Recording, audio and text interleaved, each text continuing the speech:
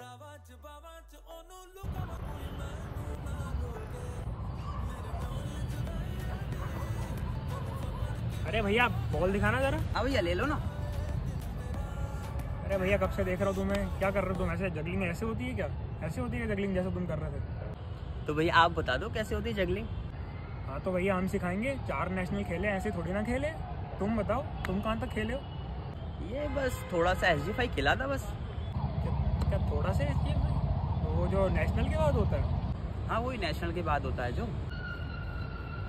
अरे भैया रुको सिखा तो जाओ कैसे खेलते हैं फुटबॉल